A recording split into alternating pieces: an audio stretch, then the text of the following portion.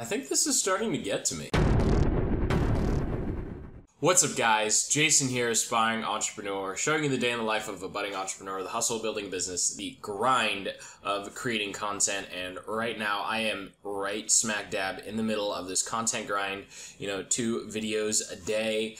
And I gotta tell you, it's it's really getting to me. I mean, I was able to record a bunch of videos, you know, a few days ago, and I'm still recovering from all that energy output. I mean, one of the things I think that it's really difficult to manage as entrepreneurs is energy, right? We can have the best task lists and the best, you know, time blocking plans in the world, but if you sit down at your computer and you're just dead, your brain is just off someplace else, went on vacation because you pushed it too hard uh, it's really hard to stick to that schedule. And so it's definitely not an excuse to be like, oh, I don't feel like it today. Because I think there's a difference between not being motivated and legitimately being exhausted because you've just pushed yourself uh, a little too hard in some areas.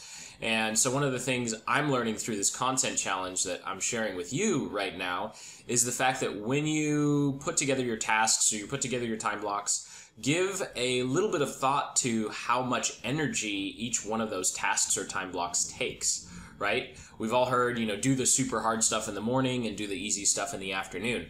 And I think on a micro level that works, but then also on a macro level, think about the number of days you're working, right? I'm at six, averaging six and a half, you know, work days a week right now. So that plus the gym, maybe I should have laid off the gym and the swimming for a little bit just so I could help my body recover. And so this isn't a complaining, you know, segment or saying, hey, you know, it's totally fine. Take the day off. You're tired. No.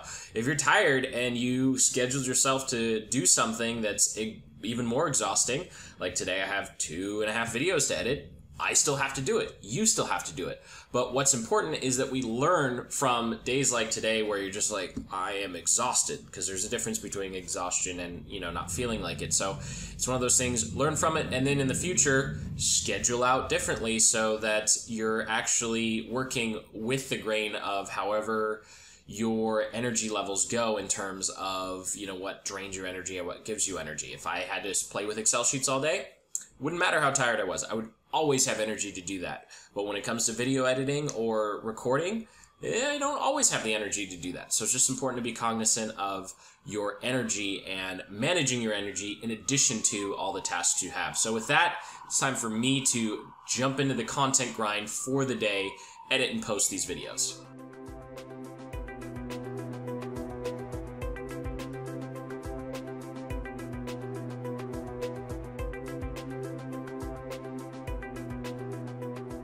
And done! Grind is over. Yes, my day was really as boring as this vlog, but you know what? That's kind of the point because it really does look boring like this. I mean, you do have boring days like this where all you do is sit in front of the computer. I know I've said that before, and I will keep saying it over and over and over again because this is what the content grind looks like in the beginning.